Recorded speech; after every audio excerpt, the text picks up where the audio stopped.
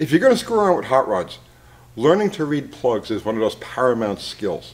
It'll tell you every single thing you need to know about what's going on inside the engine. It'll tell you everything you need to know about the tune-up. But reading the plugs themselves, just looking at the plug and seeing its condition, isn't always everything. Sometimes you need to do a little detective work and some deductive reasoning. But the plug read, especially with, a fresh tune-up, an engine or a car that you're just working through, the, true plug read is of ultimate importance. And that's what we went for this last Saturday night. So let me give you a background, what brings us to this point. So you saw the last couple of videos that we did where we talked about the idling and fuel flow through the, through the engine and whatnot, and the measures that we did to correct those things. So now what we have is we have an engine that idles clean and smooth at 1,000 RPM. It doesn't foul or dirty any plugs in particular. It's, it, it could be a little cleaner, but it's fine. It's like it's right there. And we have, we made a full throttle run, and we were dead lean. And we had some weird distribution. So we staggered the jetting on the carburetor. This is where we're at the last couple of videos. So we staggered the jetting on the carburetor, we increased the jetting, and we staggered it, and we needed to make a good hard run. So last week, it was about 90 degrees, humid, and we were screwing around with the car, It's quiet out, says, all right, let's just let's make a quick couple of gear pull with this and see what it feels like. So I rolled it out front. And remember, I can't do this all the time. It's like people are like, well, why don't you just run the car all the time? I can't do it all the time. I have neighbors across the street over here with kids and all of that. I have a great relationship with the local cops. I don't want to screw that up. So I do it sparingly. That said, we uh, brought the car around and I turned onto the street didn't really stop. I just rolled. Okay, so this was like a like a five mile an hour roll, and I flat punched it. When I flat punched it, she took off like a rocket. Car was pulling hard, strong, sounded great. I hit second gear. When I hit second gear, I noticed that the oil pressure gauge was was heading for zero. Right. I ran it out just a little bit further, probably a little bit further than I should have, but it felt good, you know. So it feels good just staying a little bit, and uh, and I was I brought it back, and I was very content with the way it ran. It felt, great. I didn't bother looking at the plugs because they were the warm-up plugs, so there's no sense in trying to get a read off of that. But I knew that I probably hurt the motor, so I dropped the pan, and number one and number five, the rod bearings, were ugly. So I swapped them out. I polished up the crank kick, I swapped them out, and looked at the situation, what caused this. And I know it's the oil pan. I baffled, I did everything I could think of, I could anticipate to try to make the oil pan work correctly, but it doesn't work. And I understand why uh, the Ruster, we did that feature on the Ruster, I understand now why he did all of the things he did with his oiling system. So I need to rethink the oil system on this car. All right, so now, car's back together again, it's running. I know it's gonna hurt itself, I wanna get one run. I wanna take it to the track and I wanna get one run, one representative run, and I wanna get a good plug read on this run. So, we headed out to the track, we pitted at the, at the extreme end, we were the last car in the pits, closest to the shut-off area as we could get. Warmed the car up, and then installed our run plugs. So these are virgin plugs. And what I'm about to show you now is why. When you do a plug read, you cannot use a used spark plug. It has to be new out of the box. It has to be a virgin plug. And you need to follow these procedures, right, or, or you're not getting any good information because we followed the procedure to a T, we got excellent information. So I'm going to show you how this all how this all transpired. So warm the car up, install these plugs, push the car to the staging lanes. Didn't start the car until the staging lane until the, the lane moved. So now we idled, just give it a little bit of gas, and we idled around, right? decided to do just a minor, burn, just to clean the tires, just the, the least burnout we can get, because all we're really concerned with right now is how these plugs are going to, how they're going to show on a hard run.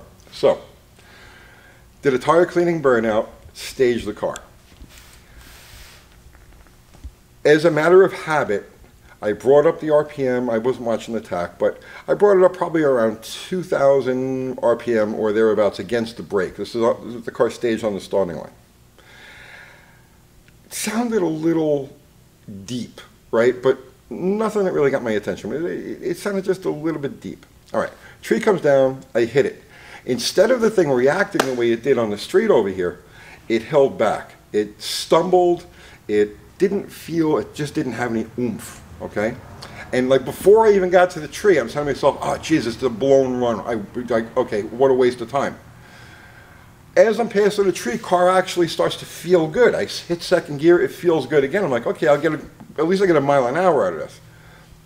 Third gear, and she lays down. She just doesn't doesn't have any pull, doesn't have any oomph. Okay, so shut the car off, coast around the first shut off, coast right back to the pit, and pull the plugs out. And this is what I find. Here's our here's our initial plug read. All right. So, whoops, not much metal under there. All right, so here's our initial plug read. Here's six through one. All right, and I'm going to show you this one here is special. I'm going to show you this one in a second. So I pull the plugs out and I said to myself, oh my God, this thing is dead lean. How is this dead lean? I jetted it up into the middle 70s and I would have thought it would have been too fat, right? I was actually, before we left, I was like, you know what? Let me back down a number or two all the way around. I'll keep the stagger right because the stagger feels good. You know, the, the plug read was even. So I'll keep the stagger right, but I'll pull maybe, you know, a, a jet size out all the way around. He said, nah, we'll just go. So that night at the track it was 60 degrees and it wasn't humid, beautiful air. And that could account a lot for the lean condition. But still, it's a lot leaner. A couple of them are just like absolute ghosts. So here's number four. All right, so I left the track saying to myself, it just needs more fuel. I, I got to just add fuel. I'll go up like two sizes all the way around, fix the oil pan issue, we'll come back and try it again. But we stopped at Waffle House on the way home, okay? And I took the plugs in with me, and we were waiting for our food. Now I'm examining the plugs. I'm really looking at them. And this one jumped out at me. So, and this is why you have to do these things with new plugs. So this is number three. Now if you look at this at a glance, it looks like it's lean, like it's never been run. But now if you look right here, you'll see it's got tan, as if it was run. You also can see some carbon inside there. And there's another one here. Uh, this, this is number six. And there's some carbon inside there too. But the plug itself is lean, dead lean. How the hell did that happen? Well, this is where your detective work and your, your deductive reasoning has to come into play. The only difference between what I did that night, Saturday night, and what I did on the street was on the street, I flat punched it from an idle. And at the track, I brought it up against the converter. Not all the way, but just it came off idle. Now, where did that stumble come from that it didn't have a stumble before? It had a fat spot and then lean. And that corresponded with the way the car felt to me. I left the starting line, it didn't have anything. At about the tree, it came on, and then it went away again. What happened? What's the difference? Part throttle. All I did was open part throttle when I staged. This thing went fat when I went part throttle, and then it leaned out. Now, also, now we're at part throttle, it's fat, and I aggravated it with the accelerator pump because now she's sitting there fat. I hit the throttle, and now two accelerator pumps are, are adding to the mix. So this really sucked all of the oomph out of the car's launch. Once it ate that gulp of gas, it went. So now I start the engine, right? And I'm looking, okay, why is this thing part throttle rich and full throttle lean? And what I found was with the engine idling, if I brought it just off of idle, if I open the throttle just a little bit, if you look at the boosters, the boosters are raining fuel. The primary boosters are just raining gasoline. It's not atomizing it. This is a small engine. The carburetor is intended for a bigger engine. The boosters are, are constructed in such a way as to handle 350, 400 cubic inches worth of V8, not 225 inches worth of slant 6. So at that part throttle opening, there wasn't enough pull through the booster to atomize the fuel. And so what I got was raining fuel that didn't atomize, puddled in certain cylinders, like number three here, And then, after I left the starting line, once it got past the gulp of, of extra fuel from the accelerator pumps, now it's running on just what it's pulling through the jets, and she was lean. Now, well, I mean, I, I- obviously, I checked it, so I had part throttle, raining fuel through the boosters, and then when I went to full throttle, the rain stopped and I had good atomization. So I know now that it's only when we're just off of idle, we just got come off the transfer slot before we're actually we- before we actually have the, the, the, the vacuum signal pointed directly at the booster. You know when it's got to do this, that's when there isn't enough pull to atomize the fuel through the booster. So that leads us to where we go with this now. The carburetor size is right. The jetting is right. Um, it needs to, when I say the jetting, I mean the stagger is right. I need to up the overall volume to compensate for the overall lean condition over here. But at this point, I need to either get the car to where it reacts from a dead idle flat punch, or I need to work with the boosters to get it so that when I've got it just off idle, they're pulling an atomized stream. So I'm going to consult with a couple of carburetor friends of mine. Andy from Unity Motorsports Garage, he's a wizard. David Vizard, another friend of mine, he's a wizard. So I'm going to consult with these guys and figure out what the best way to go with this is. Whether I should just tailor the driving habits to the characteristic of the carburetor or modify the booster, change the boosters out, which is a bit of a job to get the right the right pull. But that is the, in essence how you do a plug read. You have to do it brand new plugs. There can't be any experience on the plugs.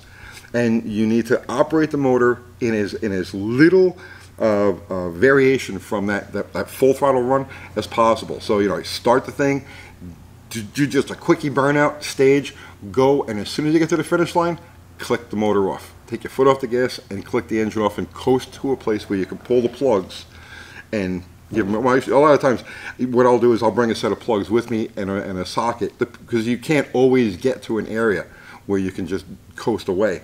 So what I'll do is if I'm doing a plug read, I'll bring a set of plugs and I'll bring a socket and then coast off to the end of the shut off, get, you know, you you pull off on the grass where everybody's way, take the, the, the test plugs out, throw your warm-up plugs back in, and then drive it back to the pit that way.